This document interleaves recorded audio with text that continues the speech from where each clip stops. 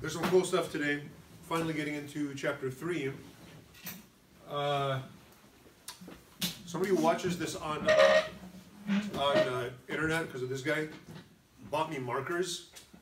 Oh. One of my friends, one of my friends from SKD was watching this. I actually, and she's like, she noticed that I didn't have markers the first two, and she, like she bought me some, and I left them in my car. Anyway, if this one doesn't work, I'm going to send somebody else to get them. And okay, this one's good. I'll save them for a future date. Um, okay, Genesis chapter three. Let's read through. I'm going to probably get up to verse seven. And then uh, I'll save the rest for next week. If, we, if we're not all dead by then. who thinks this is a hoax, the coronavirus thing? And who's like, who thinks it's just the end of the world? Neither. And who's like aqal and in between and just washing their hands? Yeah. Okay, good.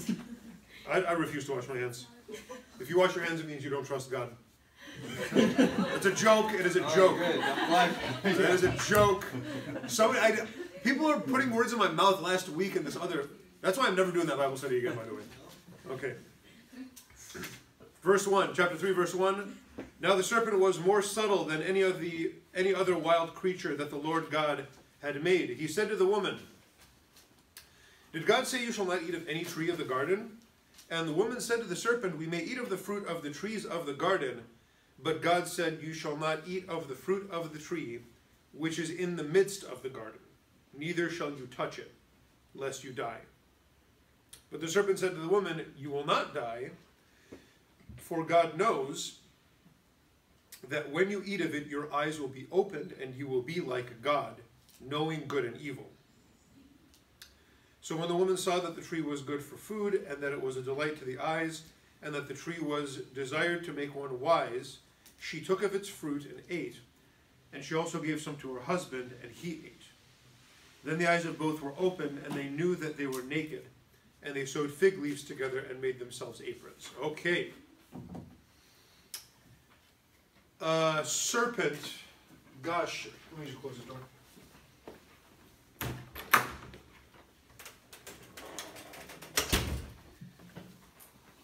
I, I've seen some uh, interpreters argue that this is like an actual animal, um, but I'm not sure I buy that. Even even in my sort of symbolic weird reading, it's unusual.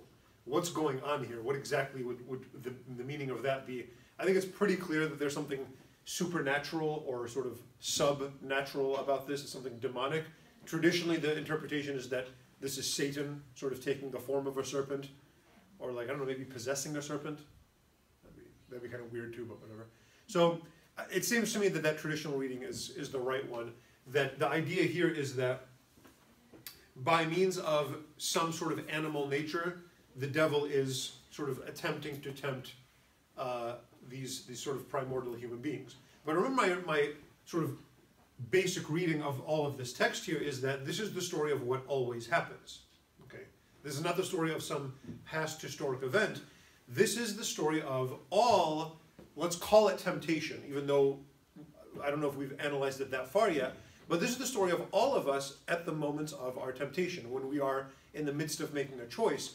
And so, at the very least, we can kind of initially say the devil, in tempting us, makes use of animal things. And now, the easiest reading of that is animal instincts, animal desires.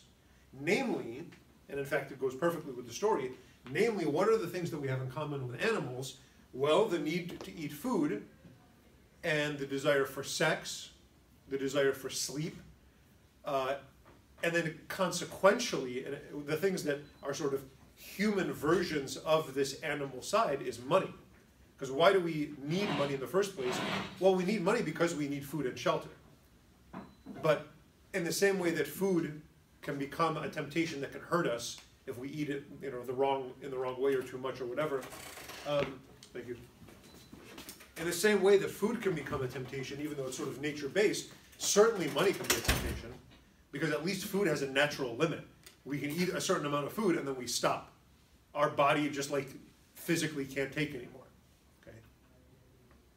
Yesterday, no, Sunday, I'm like, okay, it's Sunday, you know. I'm gonna go to In-N-Out, went to In-N-Out, felt like In-N-Out. Go to In-N-Out, and in my mind I was like, okay, I'm gonna get two I was hungry. Before you judge me, I'm gonna get two three by threes. Okay? I'm gonna get two three by, animal style. That's the way I like them. And so I had in my mind three by threes, and then I like what comes out of my mouth was I'm gonna have, I'll, I'll take three three by threes.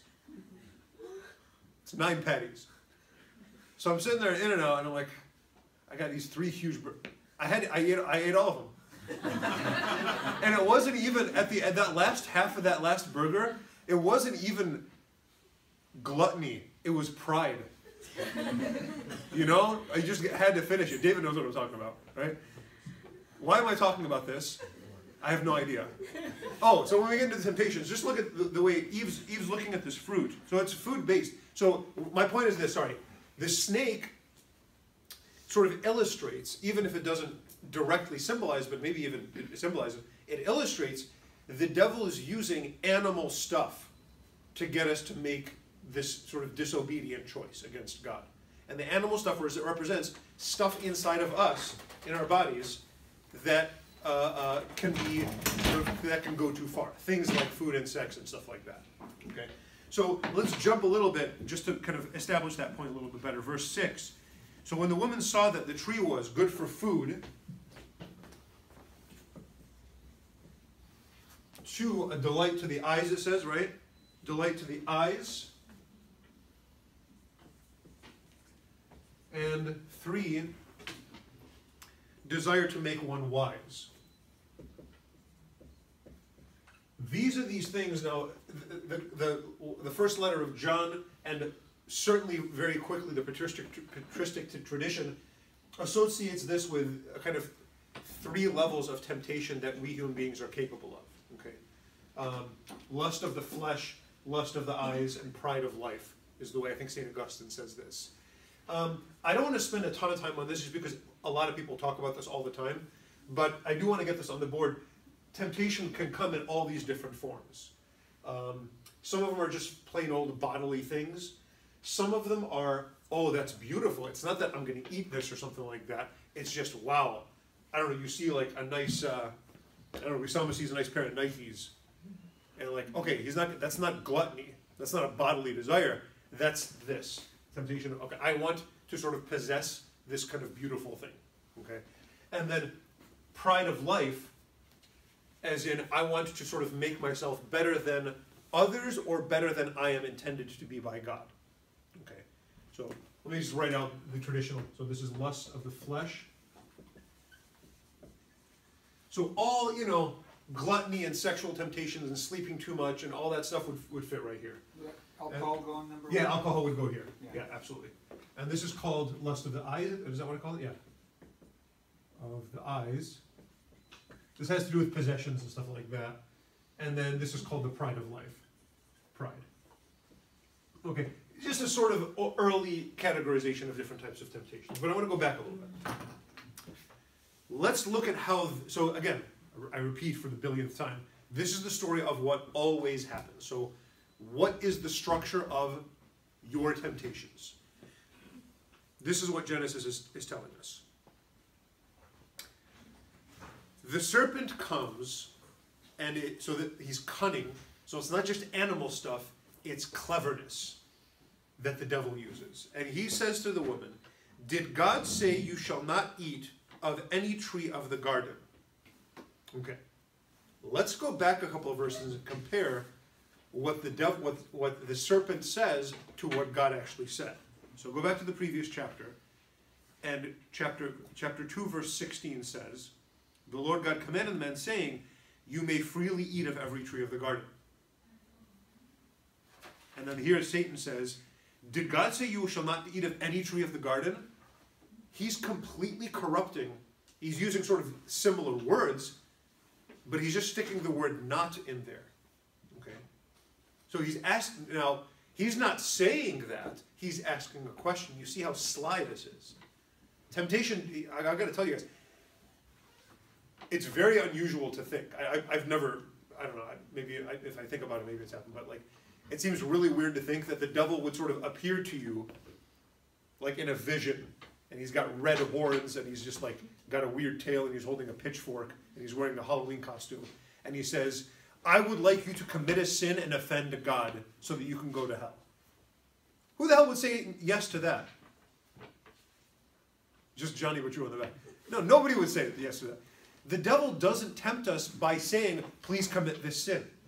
It doesn't even start with, do this. It starts with a very sly little question that implies something but doesn't actually say it. Remember, the, the serpent is, the word is subtle. He's slick. Okay? He's like a salesman, like a, like a good salesman. Not like those moms that are like, they, they, they'll message you on Facebook, like, I have a really exciting opportunity. And you're like, oh gosh. You know what I'm talking about? Pyramid schemes? I'm sorry if that's what you do for a living. Okay. So, so the devil is really subtle like this. Did God shall not eat of any tree of the garden? Now, what's happening? One, he's corrupting what God said. And second, what is he drawing attention to?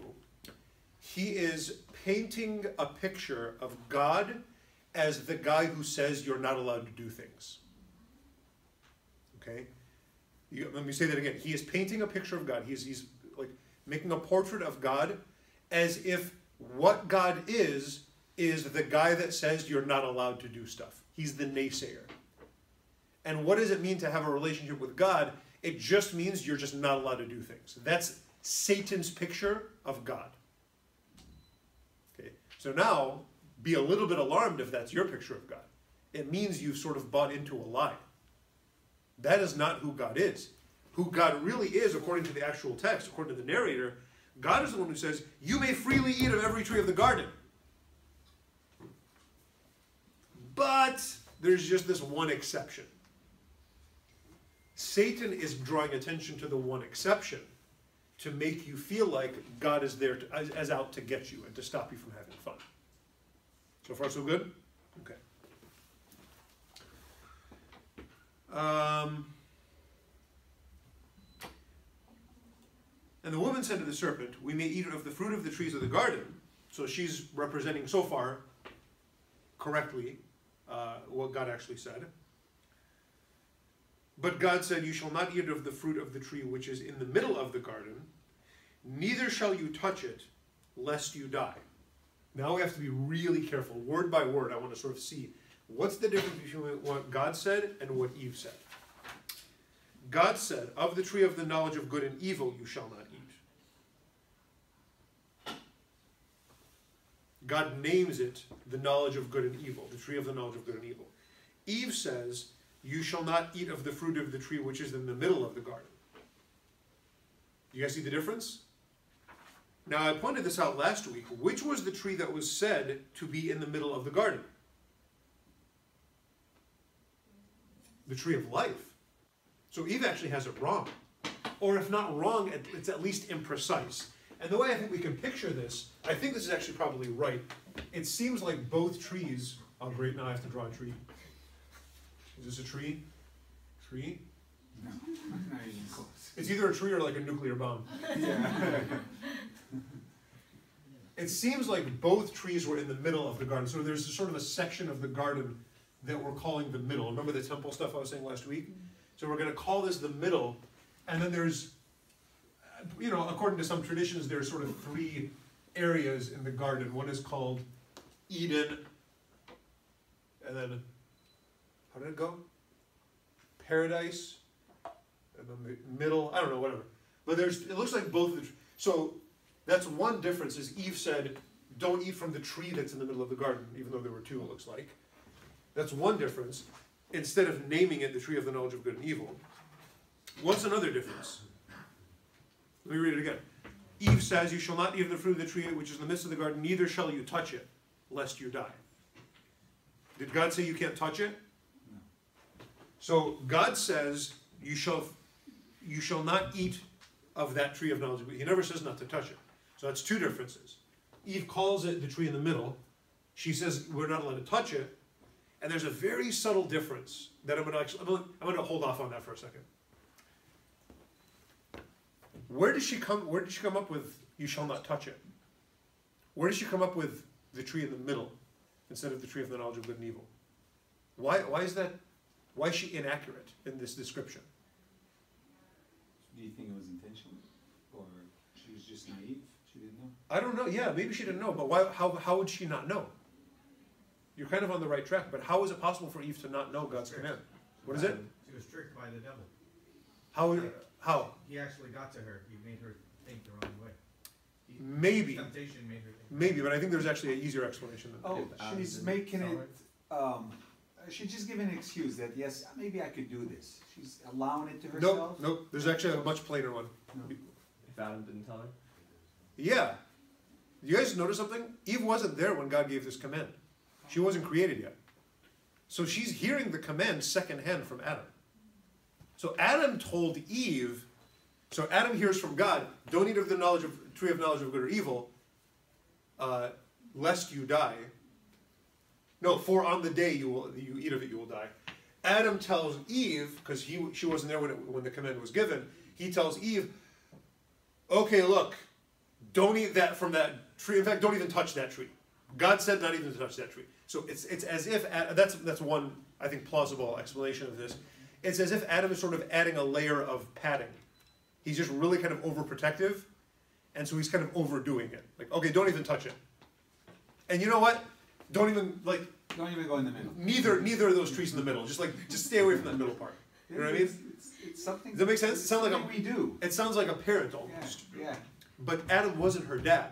And I think that's sort of suggestive of a problem that might have been there already. That he wasn't totally open with her. He didn't give her the, the command directly. Okay. Now, there is one other difference that's really interesting. And this is very subtle, and it's a little bit clearer in the Hebrew, apparently, than it is in English, but it, it is, there's a difference in English. Look at what she says. She says, You shall not eat of the fruit, blah, blah, blah, lest you die. So I'm just going to write this word lest, which is kind of a funny word. Lest you die. But God says, But of the tree of the knowledge of good and evil you shall not eat, for on the day of eat, you eat of it, you shall die. I'm going to say for here. This is what God says, for. Now, in Hebrew, these are actually sort of, there's a clear distinction between these words. And what Eve is doing when she's uh, uh, conflating this, this is a consequence. This implies a reason. Now, I want to pause and talk about this because this is actually kind of a very interesting distinction here. Don't cheat on your wife.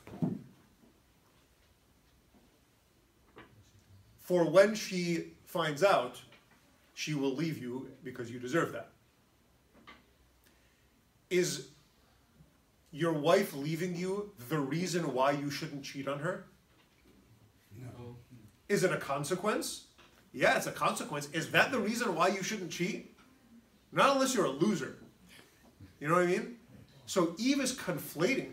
It's not that we shouldn't eat of this tree because there'll be some punishment afterwards. We shouldn't eat of the tree. We shouldn't like disobey God because we shouldn't disobey God. There shouldn't be any further reasoning than that. God loves us and he's telling us not to do something, so we should just do it for that reason. So this so but Eve in her mind is conflating, she's switching the consequence of that action with the reason why she shouldn't do it. Are you guys seeing that? It's kind of a subtle thing, but it, but it's important, right? Like if you guys were in a relationship and your significant other said, "You know, I would never cheat on you because I, I don't want you to get mad at me." Uh, is that like flattering? Like, oh, you're so sweet, right? That's that's that's that. But that's exactly the way Eve is expressing the commandment. I don't want to disobey God. I don't want to betray this trust that God has put in me because there's this punishment that comes afterward. That already, you guys, are you guys seeing? This is the second piece of evidence that even before they ate the fruit, there was already trouble. In fact, there's something that, that we skipped over. When a when a, a snake starts talking to you and asking you questions, what's the proper response? Uh, Get the hell out of there. No, start running, actually. Yeah, please do not have a conversation. She or that was already a mistake. Even answering his question. Are you guys seeing that? Now, again, let's take this back to the level of this is what happens to all of us when we're tempted. What's the proper response to temptation? If in your mind you hear, you know, you're sort of thinking like, oh, you know, is it really that bad? Whatever it is, don't have that conversation, guys. That's the the first mistake is even starting to have that conversation. The right response is, shut up, please. Like I don't know, maybe maybe you can say it even more violently than that. You know, you don't have to run. That'd be weird, but like. Was there a reason that that specific tree was, um, on God's commandment? Yes, yeah, but I'll get to that later. Or maybe not at all, I don't know. But yes, that, that's an awesome question. In fact, you're asking a, a very important question. I, I want to just sort of, let me, let me elaborate your question without answering it, okay? Just to make it more frustrating for you. Um, you're kind of asking, does God command things arbitrarily? Or does he command things because there's a reason why certain things shouldn't be done. Now, let me give you an answer for that because I think there's, a, there's actually a very right answer, and it's the second one. God commands things because they're bad. He doesn't just randomly choose things and say, you don't do this, and because I said so. God never, ever, ever does things because he said so. God said so because it's bad for us. Now, what that implies, okay, I guess I have to answer your question now. I'm like already like three feet into it. So why did God say so? Because this is the knowledge of good and bad, and it's better for us just to like live with trust and openness and what was the word I was using last week? Instinct. With just sort of, but on the day that we do of it, on the on the day that we do sort of eat of this knowledge of good and bad, we're going to talk about what that what that might mean in a second. The day that we taste that, our life's going to get really complicated, and it's going to lead very directly to mortality which we're going to talk about when we get to this fig leaf stuff, this realization that they're naked. Okay, so there are now what that really means is we shouldn't eat, eat of it because God commanded it, but God commanded it because of these bad consequences. So what that really means is there is a correlation here. There is something similar about the reason why we shouldn't do it and this consequence. Okay, uh, but a sort of innocent attitude would be okay, mom and dad said not to do this, and they love me, so I'm just not going to do it. You guys, you see that? I don't know if I made your question even more messy, but here we are. Okay. Okay. Um,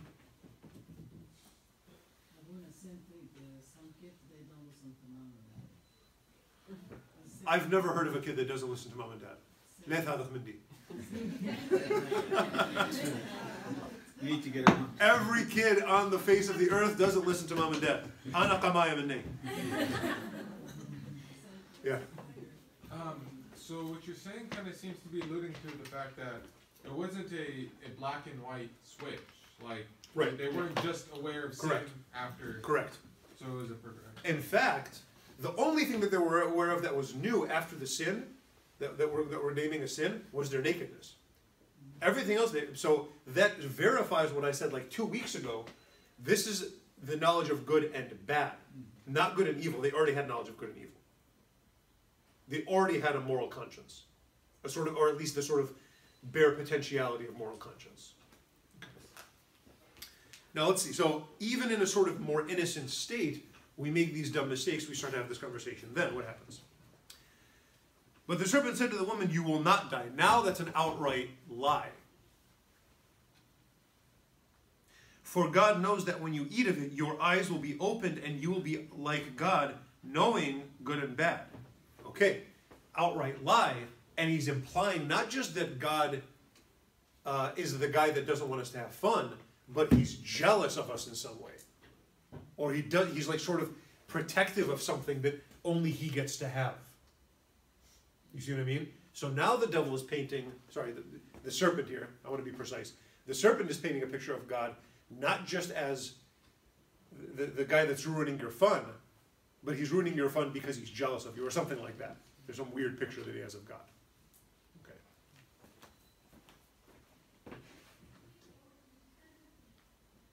However, go to verse 7. It says, Then the eyes of both were opened. And Satan's and the, the serpent says, Your eyes will be opened. So he's not entirely lying. Mm-hmm. Okay. Now, what's the warning here? The warning here is uh, don't just be cautious when it comes to lies. Lies are not really the worst problem. The most harmful thing is not a lie. The most harmful thing is a half truth.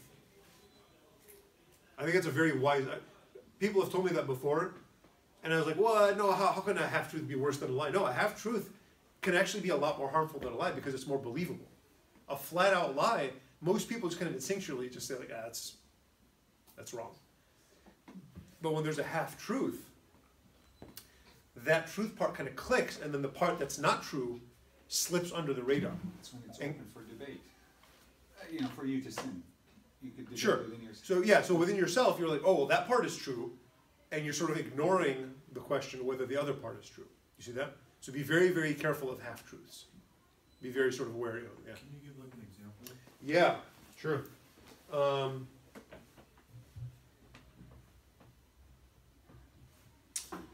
let's see.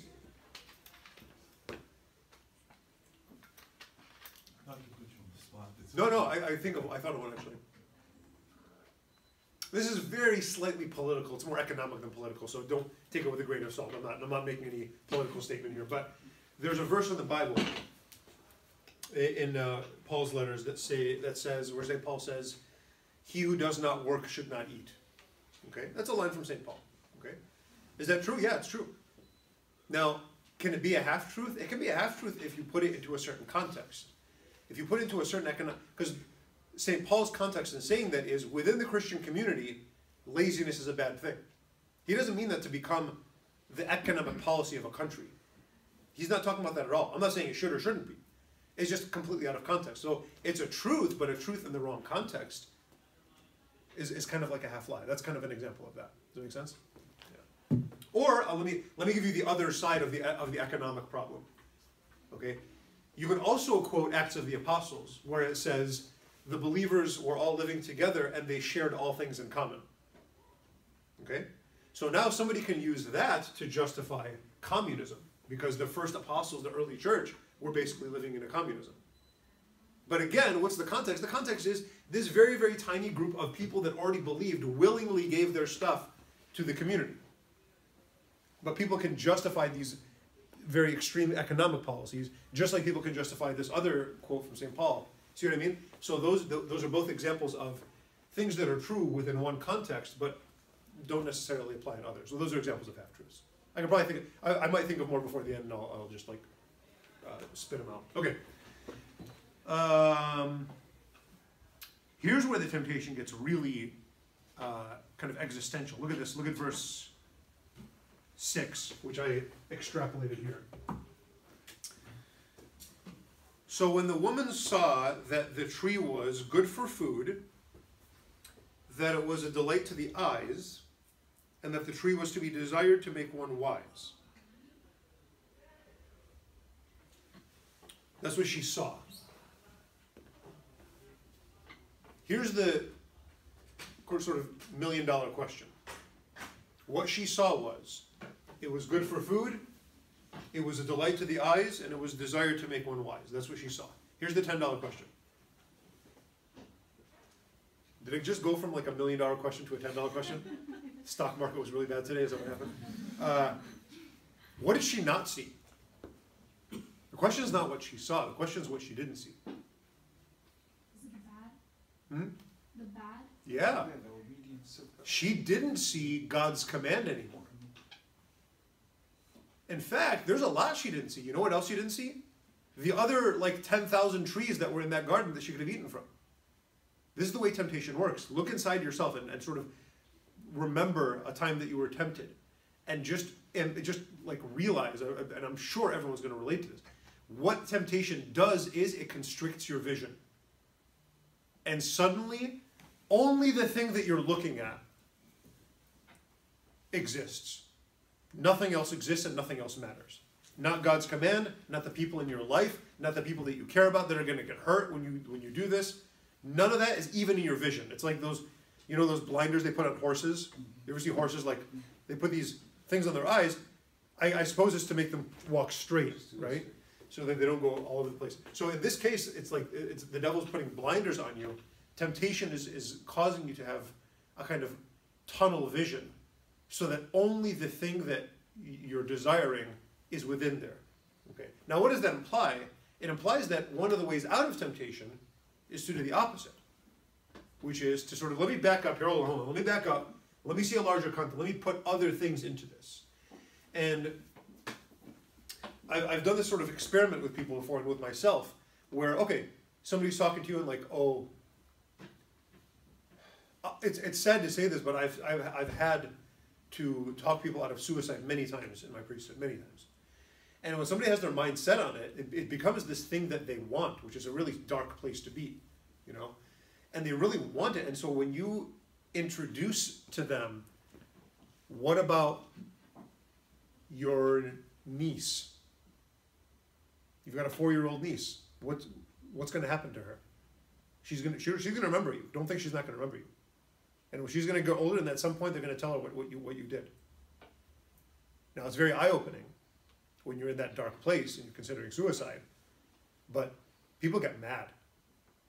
It's good. You need to, I mean, that might be a way to kind of break through to them. But I've done that before and I said, think about this and think about this and think about this. And they get angry at me because they don't want, it's not that, here's why it's our fault. Here's why falling into temptation is our fault. It's not that we don't see because we're just like, our eyesight isn't good that, at that moment. We don't see because we don't want to see. The desire is the thing that causes the blindness when a temptation's operating. It's not that the blindness causes the desire. It's not that because she only saw the fruit, then she wanted it. It's the opposite. The fact that it was all of these things made her not see anything else, and because she didn't want to see anything else. And that's the way temptation works for all of us. I can guarantee that. That that's the sort of psychological sort of format of all temptations. Okay. Um, Are you guys? I mean, does that synchronize with with your experience? I, I suppose it probably does, but if somebody else's experience of temptation is like, no, it's not like that at all, then I don't know. Tell me about it, I guess. Yeah. Um, let's see here. Here's the here's the funny part. There is a funny part.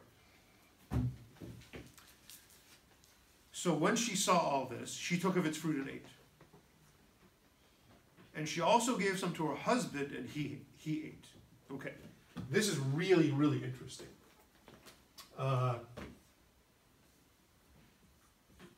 uh, no. Gosh, I don't remember Hebrew better. There we go. Okay. It's the letter M. I keep forgetting how to write this one. Okay. This word is, is, is in the text, but for some reason it's not in all the translations, and I don't know why. Uh, but this is really important. In fact, this is the whole punchline is, is in this word. Then I'm going to give you the translation of it in a second. It's really dumb to think that the story of the temptation and the fall is telling us that it's Eve's fault. That is an absolute stupid misreading of this text. Now, Eve is the one that was, was talking to the serpent, and she's the one that ate the fruit first. And she's the one that gave it to her husband. And in fact, Adam says that later. We're not even going to get there today. But Adam says, uh, The woman gave me the fruit of the tree and I ate. So Adam does blame Eve. But that doesn't mean it's her fault. That just means Adam's blaming her. And it's all because of this. That, that whole interpretation is wrong because of this word. This means. Okay, never mind. I'm not going to tell you. Johnny has a question. Not a question, that's a half truth. Yeah, it's half truth. That's good. Yeah. Thanks. What's half truth? I don't know. Okay. this word means this. Her husband, who was with her. I don't know how you could not translate this. More, sorry, I don't want to yell at translators. How do you how do you miss this word? Her husband, she gave some to her husband who was with her. That means He was listening. the entire time that Eve was talking to a friggin' snake, He was watching. Adam was standing there like a jackass, doing nothing. So Eve's sin consisted in having this stupid conversation with the stupid snake. Adam's sin was in not doing anything at all. It was his job to, I don't know, grab the snake and throw it outside the garden. Like grab it by this tail and just, I don't know. That was his job, or at least tell Eve, uh, can you not do this right now? Can we talk about Can we talk about this? he did nothing, he didn't say a word. And that was Adam's sin, not eating the fruit. The sin was a sin of omission. It was neglecting what he should have done. That was the original sin of Adam. Because the fruit is an irrelevant thing, it's, it's, it's arbitrary. As if th- th- this type, this particular fruit, there's something bad about it. No, there's nothing bad about some physical thing. It's not just the act of disobedience here, it's that he did nothing to prevent it. This irresponsibility is Adam's, the, the heart of the sin from the side of Adam. Yeah, Andrew. So, um, so then when we're born with original sin and that's what we're baptized to cleanse, what was this, what are, what is the sin that we're born with? Uh, I don't know. What, what it means that we're the, the, the Catholic teaching that we're born with concupiscence, or the, this you know what we call this original we're born with original sin and we're baptized to cleanse it. What it means really, the sort of concrete application of it, is that we're born screwed up. Like we're born with with with like messed up desires and a, and a bad conscience and you know and we learn from parents and, and a society and cousins and friends who are also screwed up. And so it just means that when we open our eyes, we're not quite right and we need correction. And baptism is, it doesn't completely magically fix all that. It, it, it sacramentally makes us into the body of the church and makes us members of Christ so that we can be healed of this throughout the life of grace that we live on this earth. You know what I mean? Um, so I don't want to say much more than that because it gets into kind of like muddy waters, but that's the basic answer. Yeah. Um, now, what? Now, I get your question though, and I want to kind of get to the sort of underlying question behind your question, which is, okay, what of this applies right now? And I think all of it applies right now. And I don't think I don't think it's at all true to say men and only men are guilty of sins of omission where they don't do what they're responsible to do, and women and only women are guilty of sins of having conversations with snakes with money. I don't think that's the story that it's telling us. I think it's telling us, like, look, within human relationships, this is a typical thing that happens. Okay? Usually men are tricked, sorry, usually women are tricked with words, right? And men are tricked with women. Mm-hmm. and that seems to be a kind of typical experience that most of us can, kind of can, can kind of get. Like we all sort of recognize that, you know. How, you know, if, if you meet these like sleazeballs at, at clubs that like try to seduce women, they use words. That's one of the things they, you know, they, they'll seduce them using. They'll say this. They'll compliment them. So the conversations are the way to sort of tempt a woman, mm-hmm. and the way you tempt a man is you just have a woman just like tells you to do something, and then they, do it because they're dumb. Okay, it's, it's like I said, it's kind of a typical, stereotypical experience of human beings. I don't think it's at all. I think all of us are guilty of uh, giving into temptation the way Eve gave into it, and all of us are guilty of sins of omission the way Adam is guilty. So, um, okay, Adam was standing there. Can we talk about, a little bit about the consequences? I know that, let's say, let's say they ate the apple. Yeah. What, what happened exactly? Did they Yeah. actually turn from dust to dust? Is that- Yeah. So no, not exactly. In fact, I uh, actually I'm gonna. That's all I'm gonna talk about next week. The Well, you- whole, all of next week is just gonna be on the consequences. Well, which one was, is important? about- All of them. Of the consequences? All of them. Because Would you the, say that life, because because Steve, all the rest of the chapter okay, is about the consequences. So I want to give I want to give a detailed response to that okay. because it's a good question. Um, Just wanted to know which Yeah. one was important, and Yeah. you said it's, Yeah, okay. I want I want to work through that in detail next week.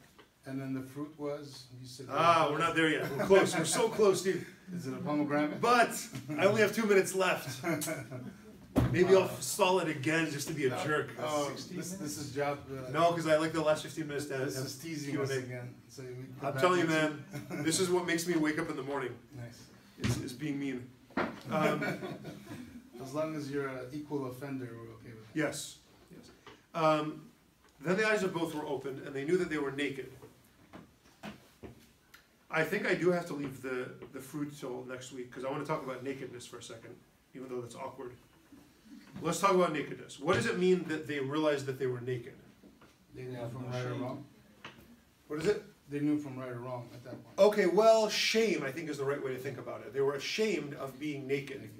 Whereas before, it says, there's a verse that says, uh, verse, chapter 2, verse 25, they were naked, but they weren't ashamed. So it's not that there's something, and this is something that, I kind of want to stand behind this podium right now. Uh, there's something that I think is worth saying about modesty.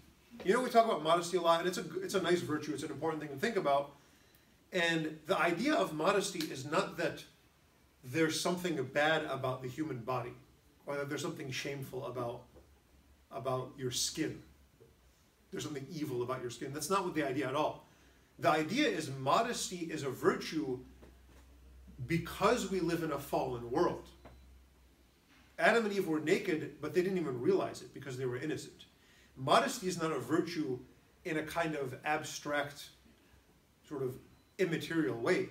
Modesty is, sorry, let me explain. Modesty is the virtue of, among other things, treating your body with respect and not being sort of too, like, being, having clothing and having, like, actions that are not sort of overtly sort of sexualized. Okay. And it also means kind of covering up your body in, in a proper way. But that wouldn't be a virtue at all if human beings were innocent. That's what Genesis is saying. It's only a virtue you only need to hide it because other people are looking. And modesty is a virtue because everybody else is a slime ball. And so it's not because there's something bad about you that you need to cover up. It's because there's a, something bad about everybody else. That out of respect to yourself, you say, I don't deserve to be looked at like that. So screw you, and I'm going to cover up and get out of here. You guys see that? Because modesty can be kind of painted, especially to women, I think are victimized. They're sort of made the victims of the virtue of modesty when it's explained sometimes. It's total misunderstanding. You, you don't have to cover up because there's something wrong with you. you. Women have to cover up because there's something wrong with men. But, sorry, there is something wrong with men. So you do have to cover up. Sorry. It sucks. But that's the best I can do. You know? I can't if I could go and transform every single guy on the face of the earth, I'd start with myself too. I would do that, but I can't. And so instead of that, protect yourself from that kind of look because you deserve better. You guys kind of seeing that? Um, now, let me, let me say a little bit more about this nakedness thing. Nakedness doesn't only have a kind of sexual implication, it also implies sort of two other things. It implies vulnerability. Okay, so if you think of what clothing is about, clothing is one about the sort of sexual, okay, don't look at me, that's creepy. It's also, though, about right now it's sort of raining outside, so we get something that's waterproof to protect ourselves from the elements. So nakedness also implies weakness. And then, third, more related to the sexual part, nakedness implies what the sexual organs imply.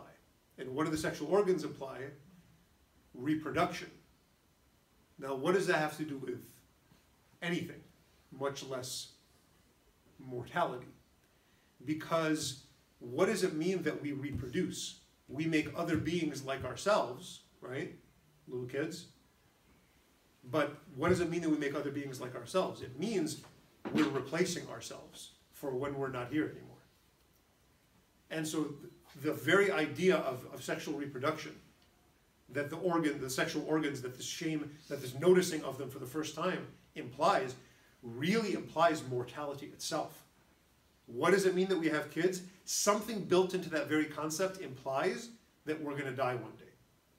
And we have kids because we're going to die one day, and that's going to be a part of us that lives on.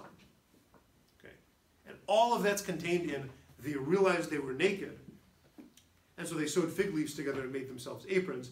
So, this sort of very first phase of technology, if you can call it technology, is to make up for this vulnerability that we have as human beings um, out of this sort of basic weakness. Okay, very simple technology. Sewed fig leaves together. Okay. Um, so that's where I'm going to start next week. I'm going to start with that leaf thing.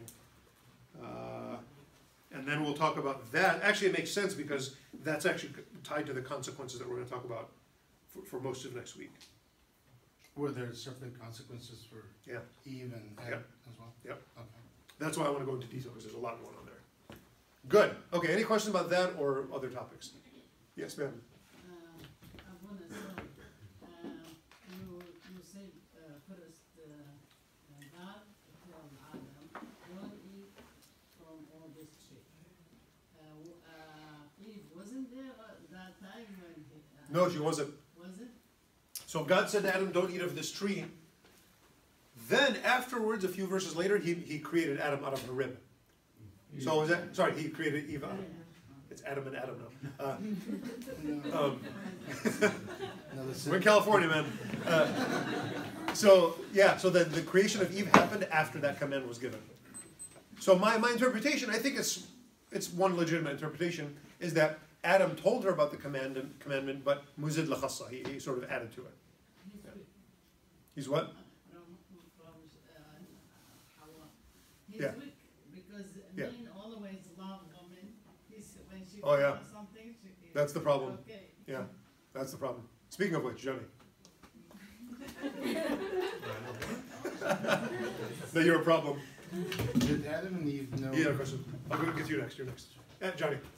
Uh, Would you say that one of the reasons that God allows uh, the devil to tempt Adam and Eve is to show that uh, they love him? Because at that point, uh, we haven't read anything about their love for God.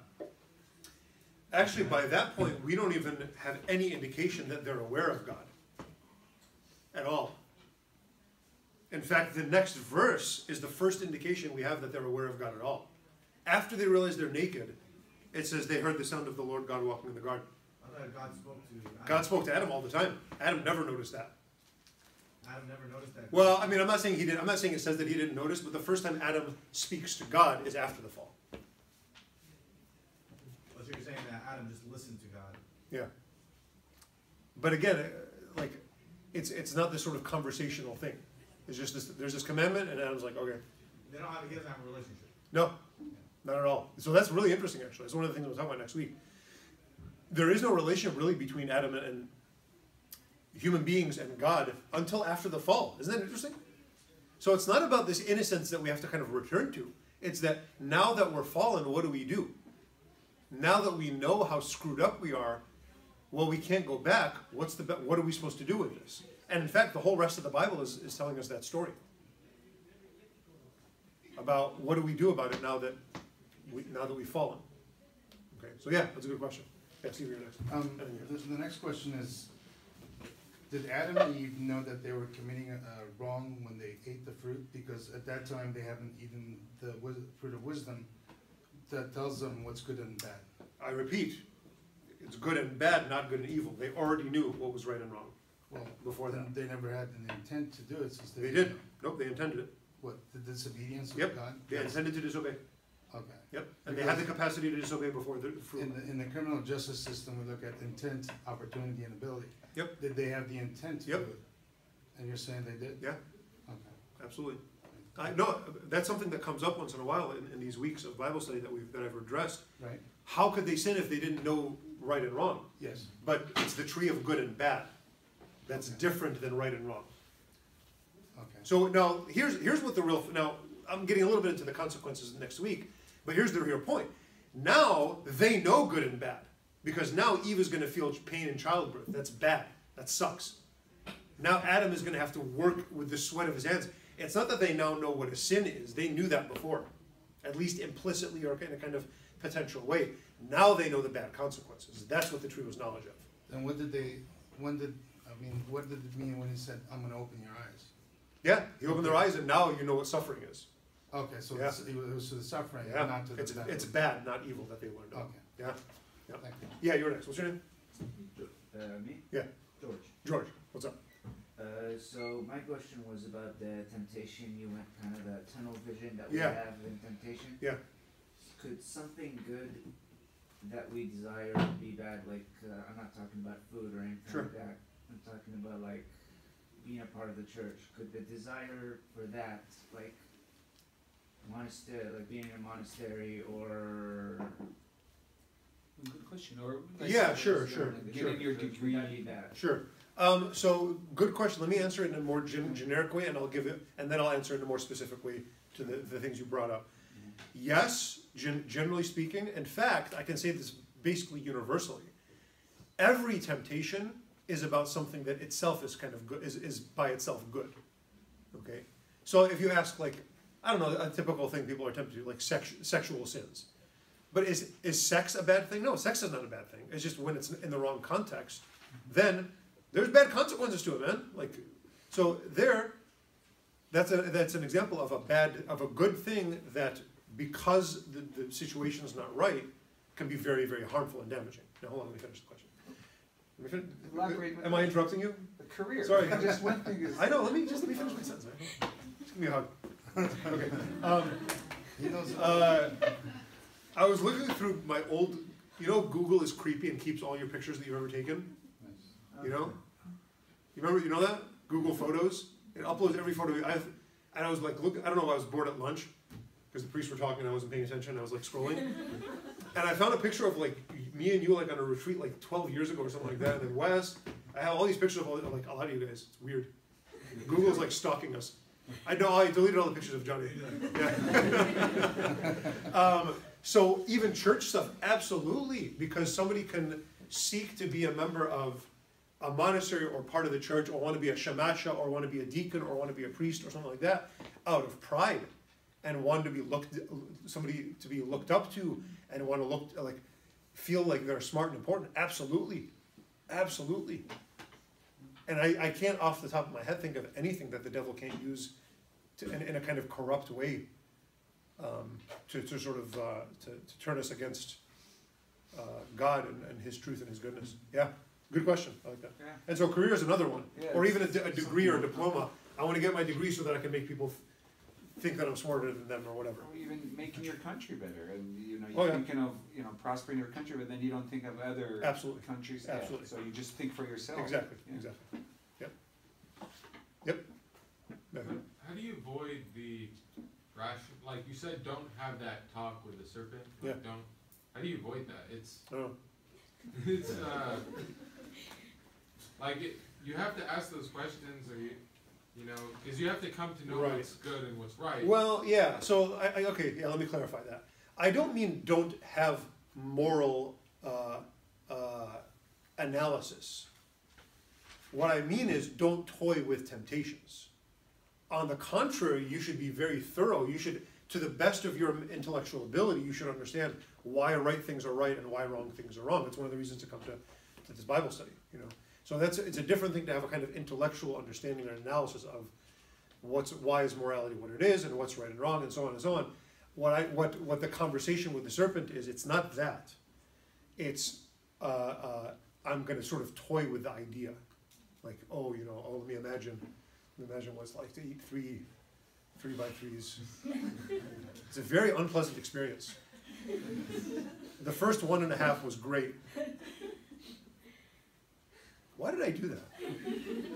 I'm still feeling it. It's like right here. What is it? Confession?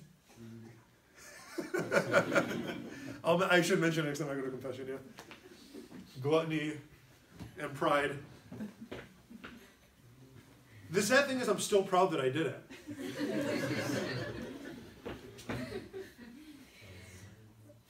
What's wrong with me? What other questions do you have, uh, SF? You said that the consequence for Eve was that she would bear a painful, um, Next week, we're gonna talk all about that, yeah? was it also ruled by husband? Yep. So women are created to be ruled by husband? No, they're not created because of sin. Oh, Yeah, that's a consequence of sin. It's not by creation. Yep, that's one of the things we'll talk about next week. okay, Yeah, thank you. yeah.